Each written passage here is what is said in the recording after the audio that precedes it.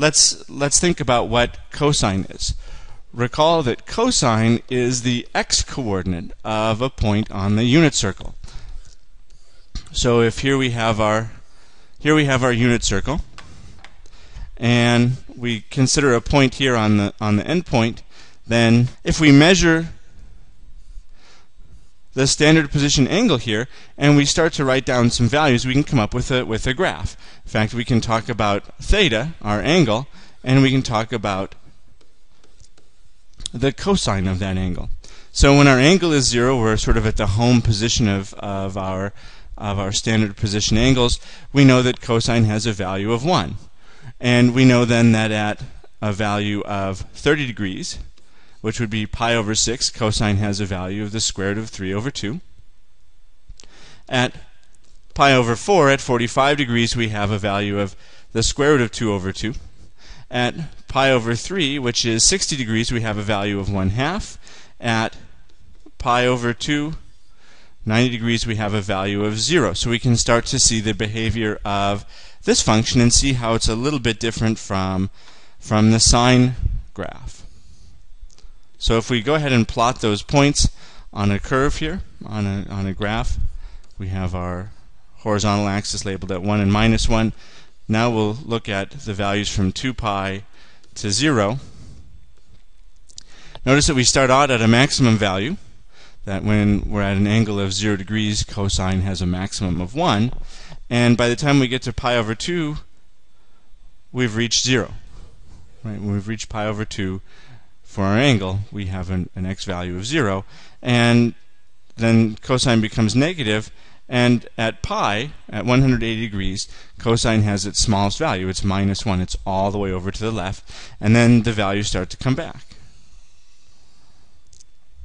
So this is a, a rough sketch of the graph of y equals the cosine of some angle theta, where this angle represents our, our Uh, or this axis represents our angle theta. If we now look at some of the properties of cosine, we can see some similarities and some differences between cosine and sine.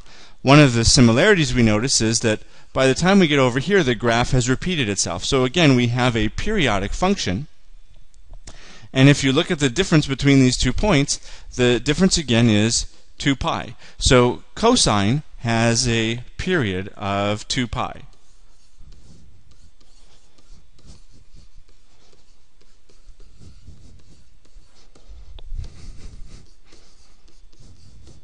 If we look at where the roots are, if we look at where this crosses the x-axis, we see that it crosses at these two points here. At 1 pi over 2 and at 3 pi over 2. So the zeros, the roots are shifted. Remember for sine, the roots were at every whole number of pi. Here we're at every half integer multiple of, of pi. So we can talk a little bit, we can list out where the roots are here.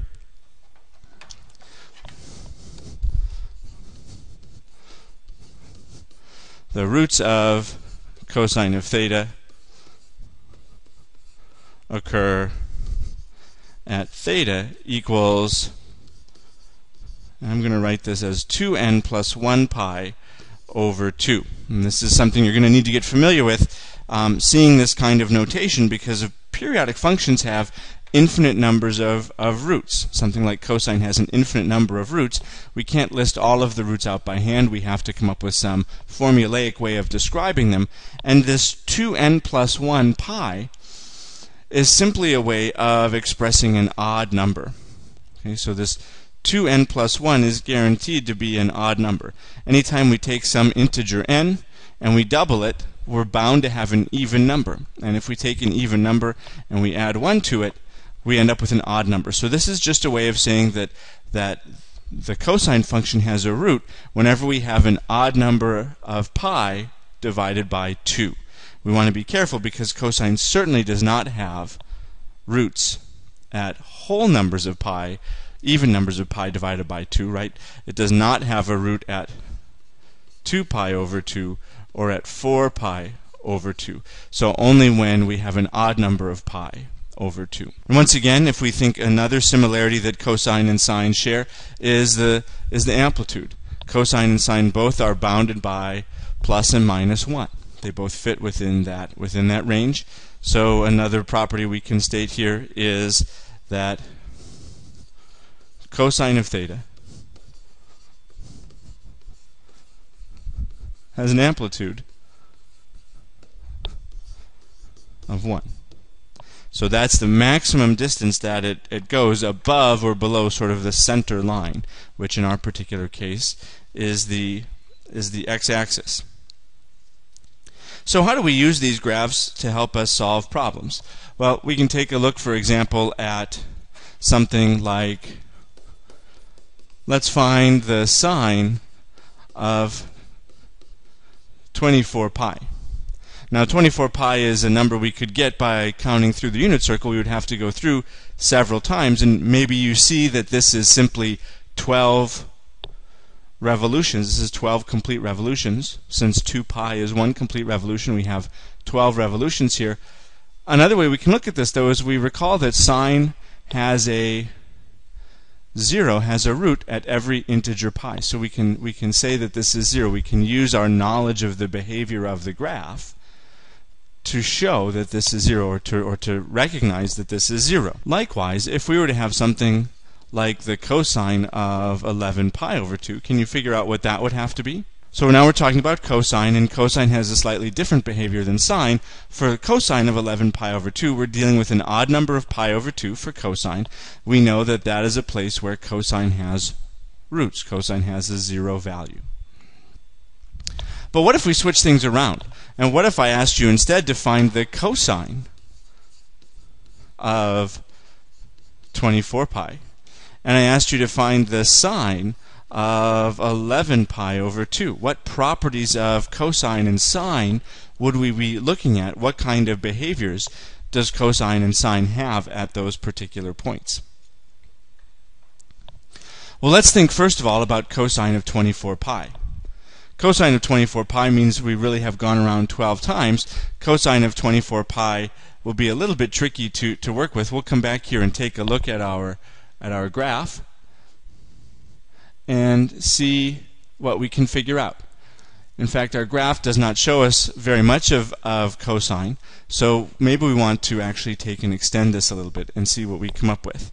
Um, again, we're looking for we're looking for patterns here. So let's graph cosine out to a little bit out to a little bit farther distance. Let's go ahead and do 6 pi for cosine and see what kind of patterns we come up with. This is a, a nice way of, of solving some problems, and it's also a way that you're going to need to get used to, to working. Um, understanding and being able to work with these graphs is very important and we need to we need to be able to to solve problems using these graphs. So I know that cosine, and here we're going to go ahead and graph y equals the cosine of theta. I know that at 0 cosine has a maximum. I know that it has a period of 2 pi, which means that at 2 pi, at 4 pi, and at 6 pi, cosine will have a maximum, which means that 1 pi, 3 pi, 5 pi, cosine will have a minimum. This is what the graph of cosine looks like.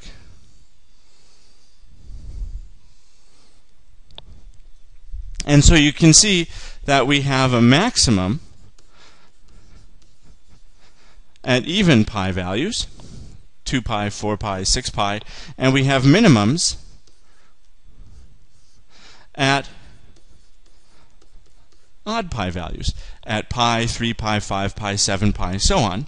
So if we want to answer our question now and determine what the cosine is doing at 24 pi, cosine has a maximum.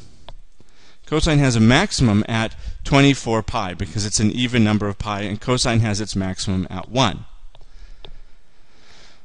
Sine of 11 pi over 2, it's a little bit trickier question. Okay, and we, what we would need to do is go back and look at our sine graph and determine what the um, what the values were for for sine at, at odd pi's over 2. Okay, when does it have maximums? When does it have minimums? I'm going to warn you that I'd like you to be prepared for this particular question in class. So take some time and figure out this problem as you as you maybe work through this video again or begin the homework. Determine what the value of the sine of 11 pi over 2 is.